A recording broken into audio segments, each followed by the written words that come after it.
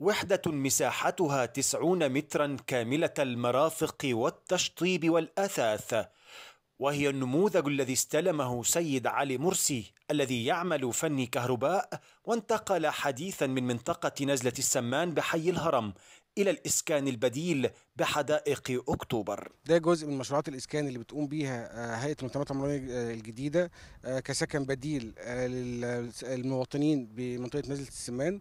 وزي ما حضراتكم شايفين هي عبارة عن موضوع 104 عمارة بإجمالي تقريبا 4000 2400 وحدة سكنية بالإضافة إلى 91 محل بالإضافة إلى وحدة صحية بالإضافة إلى حضانة بالإضافة إلى ملاعب بالإضافة إلى مدرسة تعليم أساسي طبعا الغرض الأساسي كله موجود إن إحنا مش ننقل السكان بس بنحي... بنعمل لهم حياة كاملة مكتملة.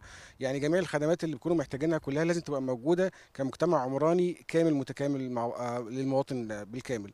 آه المدرسة لازم تبقى شغالة طبعا الحمد لله. الحضانة الوحدات الصحية الملاعب آه المنافذ البيع. إحنا طبعا استعنا في أول المشروع بمنافذ أمان تبع وزارة الداخلية للمساهمة في توفير الخدمات الأساسية للمواطن. إحنا الغرض كله موجود إن إحنا يبقى المواطن موجود في حياة متكاملة مش مجرد إن أنا بنقل الساكن في المكان وخلاص. استغرق بناء هذه المدينة 18 شهرا لتكون سكنا بديلا كريما لائقا مكتمل المرافق والخدمات.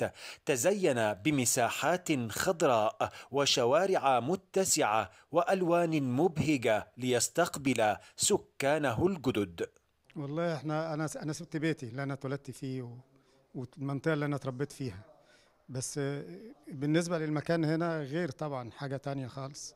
حتى ولاد بنتي لما جم هنا أنا مطمن عليهم لأنه بينزلوا يلعبوا في الجناين بره وبيلعبوا براحتهم يعني. أول ما دخلت حسيت إن أنا في مصيف في حاجة كويسة يعني كنت بتمناها من زمان بصراحة. كنت بتمنى إن أنا أعيش أشوف الخضرة كده والكلام ده والله. بس الحمد لله يعني ربنا نولنا يعني اللي إحنا كنا نفسنا فيه الحمد لله.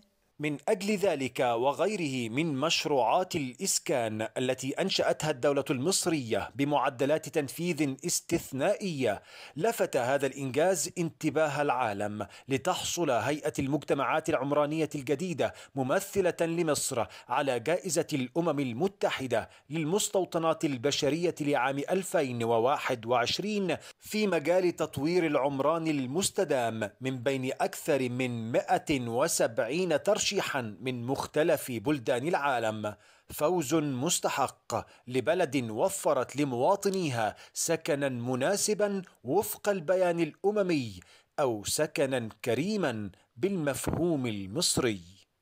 أحمد عبد الرازق لاكسترا نيوز.